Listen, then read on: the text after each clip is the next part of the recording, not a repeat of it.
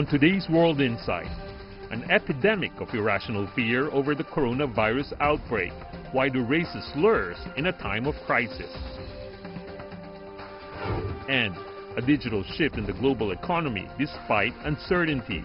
Executives from a Russian fund and Alibaba talk about strategy. Uh, we believe that there is a new development paradigm that's really emerged uh, thanks to uh, digital uh, technology.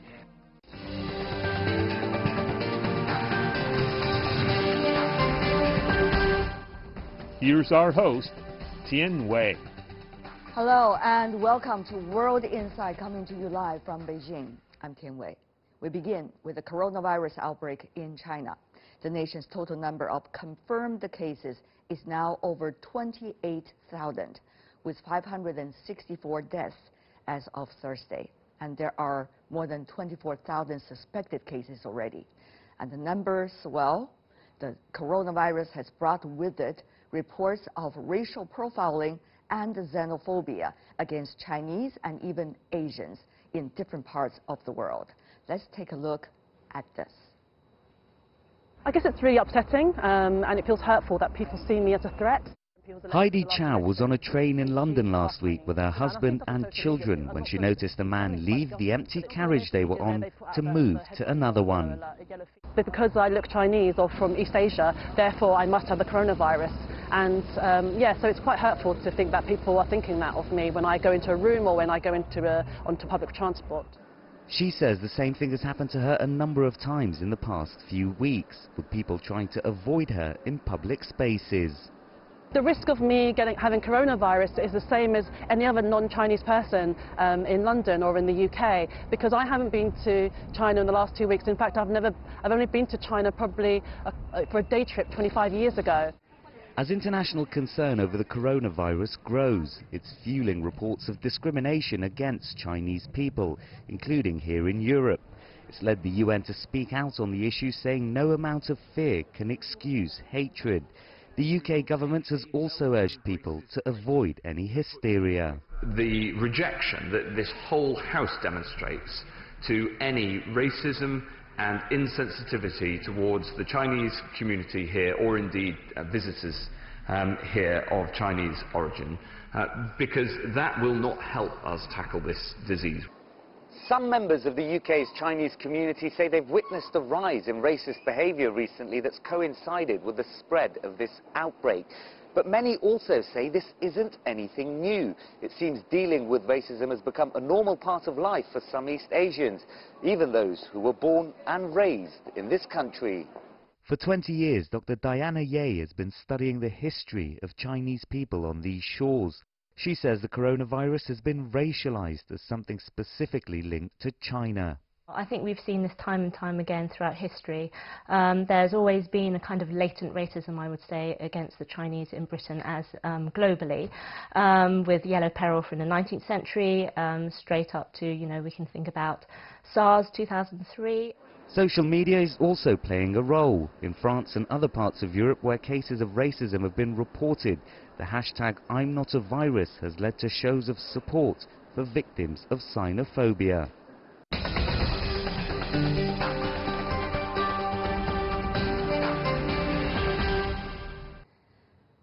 Ne suis virus. I am not a virus. That is the slogan and hashtag circling around the world. For more about this on these xenophobia listedly, we have witnessed together with the coronavirus, we are joined in Berlin. Dr. Li Yayu, political neuroscientist. She is with Columbia University and she is now living in Berlin. And in Washington, D.C., we are joined by Professor Christopher Chambers, professor of journalism from Georgetown University. Now, to both of you, I have to say, xenophobia is not something new because you've been working in journalism and you've been working in the uh, scientific circle as well. So you know what it is all about. But how would you see the latest round of xenophobia? It seems that China now, or Chinese, is equal to a coronavirus. Isn't that a very scare, scareful thought if you look at the reality these days, Professor Chambers? Well, it, it is nothing new, this kind of racism and this kind of xenophobia. I think what is new is that um, in the past the United States and European powers have felt uh, superior to China. Now China is a major world power economically, militarily, et cetera, et cetera. So that increases the anxiety of, of, of, of these uh, uh, of, of, these, you know, um, European and, and, and, American governments and, and societies. Um, you also have a great interdependence of economies and many, many Chinese uh, excuse me, students who are uh, studying abroad in the United States and in Europe. So that's, that's the, the game changer right there. Mm, it is the game changer. China, of course, is more visible. The Chinese are everywhere in the world. Uh, Ya, you know that very well because you are living now in Berlin. You earlier have been associated with Columbia University. So you also been interviewed by German media about this. So what is your take? Is that a very special take compared to Professor Chambers? Well, I come from two perspectives. One is as a researcher studying the political brain, the brain, uh, brains that we all have across cultures, racism that we all have in our brains across cultures.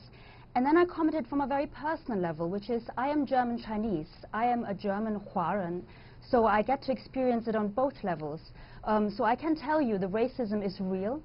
Um, it is felt in Germany, um, especially I think the media, the press, should have a special responsibility in a liberal democracy, such as Germany, to protect its minorities um, and not to gang up on one minority.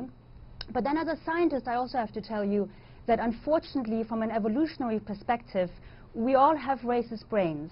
Um, so you can see exclusion happening not only in Germany, but also in other countries. And even within China, we can see hmm. exclusion mm. happening towards Hubei people, towards Wuhan people. Mm -hmm. So this is a moment where we all need to think, how do we want our societies to look like? How much does discrimination matter to us in the 21st century? Yes, indeed. And finally, I should say, racism towards Chinese is some... Go ahead. Racism towards Chinese is something that is often denied. So Chinese, Chinese are often um, discriminated against in a very subtle way. Um, namely, in a, a we are uh, de uh, dehumanized as machines. So Asians, just as Jews, are often seen as very competent, uh, uber-efficient, but lacking human warmth, human individuality, human creativity. We have to prove ourselves doubly so that we are human. All and right. so this is why this virus outbreak is so devastating, because we are, again, uh, equated to a virus, to something so impersonal. And the research shows, finally, uh, Tianwei, the research shows that the outcome of this subtle dehumanization towards Chinese and Asians is aggression and violence. So the consequences are real, they're dangerous, and we need to fight them. Right. It's a beautiful answer you just given. Let's take a look at the issue by layers. First of all, this is an epidemic in China. It is not yet an outbreak in other parts of the world. So why people are so scared and so fearful as if the coronavirus is around them on a daily basis, as if there will be hundreds and thousands of people around them already uh, sacrifice their life as a result. Uh, Professor Chambers, how much misinformation, in fact, is involved here, and how much fear is being created or geared up as a result of ignorance, first of all? Well, it's, it's, it's the fault of, of, say, in the United States, the American media and political leaders to face up to this kind of, uh, of racism and misinformation. Because an aspect of, say, the racist brain is not admitting, you know, not wanting to look in the mirror at yourself. Excuse me. Because if you look at the United States, we have had a flu epidemic here since October 1st, and the media does not report, report on it. 10,000 people, over 10,000 Americans, have died between October and January. Five million cases of our influenza A and B have been reported mm. since October 1st of 1999. Children, elderly have died. 60,000 people have been hospitalized. I was I contracted uh, our influenza B along with my wife and other members of my family. But you don't see the American media or political leaders talking about that. And many times when Chinese Americans contract the flu or even a cold, the one that's devastated the United States since the autumn, people think it's coronavirus. Well, well that's ridiculous. Mm. So there is a failure of the American media to educate people. There's a failure of our political leaders to um, unleash the information that our own uh, Centers for Disease Control have over our own domestic flu, which is far more deadly than what's going on in China right uh, now. Uh, Mr. Chambers, if I could just uh, follow up. Now, it is a fine balance as to you do not want to have overreactions to scare people. Many believe now the current administration has been having some overreactions toward the coronavirus as the numbers of uh, the, the uh, infected is not that much in the U.S. at least. However, on the other hand, you do not want to have any chance for the danger of your people. That is just for sure. So uh, the authority also face a fine balance. I guess experience, courage, and information, knowledge here plays a big part. Uh, that's one thing. But on the other hand, how is that related now to the long-term uh, way people look at diseases? Remember, H1N1, Latino Americans were being criticized as if they were the virus, as, as if they were the source of the virus. And remember Ebola? African Americans or Africans in different parts of the world uh, have to face up to these kinds of xenophobia as well. So it seems that there is an evolution of this existing xenophobia uh, popping up at times when virus is going around. It is a companion of the virus. This is the moral virus we're having right now, which is even probably more dangerous than the coronavirus itself. Uh, Professor Chambers, quick response. Yes, well, that, that's always been the case in human history. I mean, even the, the uh, bubonic plague was thought of as a, a scourge from God because uh, Europeans have been interacting too much with uh, people from uh, Central Asia and, and, and, and East Asia. So I mean, this is nothing new. I mean, this is this is something that goes hand in hand with uh, infections, and they create the situation where where these infections can become pandemics mm. because people are afraid to seek medical help. Mm. Leah, how do you see that? I mean, this thing has been going on and on and on, even though we are now 2020, the year 2020. Yes, absolutely. I think, um, you know, I have a slightly different take. So I think it's very important not to shame people for their brain reactions um, that are motivated by fear. So when people are afraid, when they're basically in fight-flight mode, when they think their life is in danger, people will act irrationally. And I don't want to blame people for that because this is how our social brains work. But what I do want to blame elites uh, politicians, uh, people in the media, people in educationists, if mm. they keep continuing to stir up that fear. Um, their role is to dissipate their fear, uh, this fear. Their role is to basically tell people, I understand if you see a Chinese person and you're afraid, but let's break this down. Let's see if it really makes sense rationally. And I think one very important role that Chinese abroad everywhere um, that they have and that they can take is that we humanize ourselves to the world. That's why we say, I am not a virus. We say, I am part of this society. You cannot uh, view me as this total foreign object. I am also German. I am also American. And I am Chinese. So I think that is really important, and I think it's difficult for the Asian dia uh, sorry for the Chinese diaspora because culturally we're not really used to speaking up for ourselves. Mm -hmm. We're used to being quiet. We're used to sort of being grateful that we've been given our lives.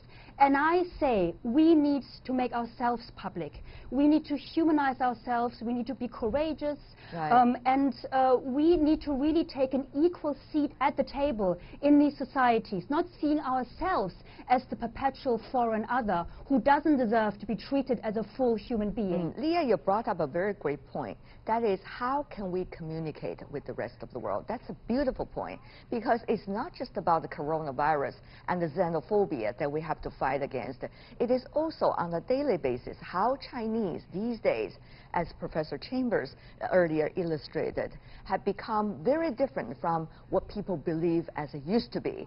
Uh, and how they, to communicate with the rest of the world. Is anger going to do the work?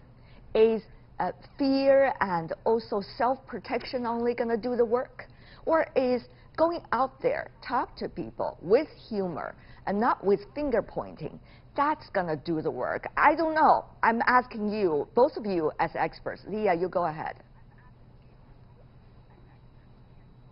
Well, I think there are two ways. I think you can humanize yourself in a very direct way, which is, you know, there's social media, there's talking to people. You can even speak to people saying, hey, are you afraid about the coronavirus? Ask me something. Ask me about how my family is affected. Mm. There's been a fantastic uh, one-man show in Italy, in Firenze, where basically a Chinese person put a mask on, put uh, blinds on over their eyes, yeah. and they said, I am not a virus in Italian, please stop the prejudice. And after a while, people went up to him and hugged him. It was very, very emotional. You know, can I hug a Chinese?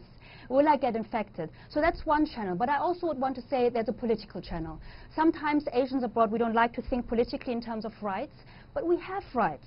They are anti-discrimination uh, uh, uh, places that you can complain to in your, uh, you know, various European countries. Um, there are associations that you can go to. Mm. Make yourself public. To me right now, although it's, it's a dark moment for the Chinese diaspora, to me it is a great opportunity because at no point in Germany, for decades, mm. we have not talked about the position of Chinese and Asians in German society. I think this is an opportunity and we can seize it and viruses will pass. But I think our voice, we can make that stronger and that will persist. This is a very interesting point. Also go to you, Professor Chambers, uh, about that. Is this the best time to communicate? Uh, how to communicate? What is the best way to communicate? It's not just about let me persuade you. It's about let's improve together. Let's get scientific information. Let's be able to face up to the disease together because it's going to be a global village, as we say. Global health is a global issue. So, Professor Chambers, your take here. Well, we can forget American political leaders and American media. They are hardwired as a business model to be sensationalist. So it's going to have to be between scientific and medical communities and at a grassroots level. We have Chinese students uh, from China and Chinese American students at Georgetown uh, who have actually said, you know, our domestic flu is more of a threat to us than coronavirus is to anybody, and have and have talked about this. We have you know, epidemiological students um, from China and Chinese American who are showing this, uh, how devastating our domestic flu is, and that has helped bridge some gaps and, and, and, and, and dissipate some hysteria uh, about coronavirus. So it's going to have to be a grassroots kind of a thing and something where our, uh, our, our mutual medical and research um, institutions right. uh, bridge gaps because we cannot depend on, our, on the media, we cannot depend on politics. Right. And before we go, I just want to show everybody this latest number so that we have an idea as to where the coronavirus uh, has already spread to, to what degree. The latest the flu surveillance from the U.S. Uh, Center for Disease Control and Prevention reported that as of January, there were 15 million cases of flu and 8,200 deaths in the U.S. during this flu season. And for the coronavirus in China so far, there are more than 28,000 confirmed cases, a death toll of 550, and there are 12 reported cases in the U.S., 5 in Canada. And of course, there are about 30 in Japan as we speak. The number might be increasing, but we want to see the facts before we go and comment about it. We also want to see, no matter under what circumstances, we are together. We have to fight this together because this is global health. I want to thank both of you for taking your precious time helping us to understand the issue much clearer. Um, Li Ya-Yu and Christopher Chamber. Thank really you. appreciate it. Thank you. All the best. Be healthy. Thank you. Thank you.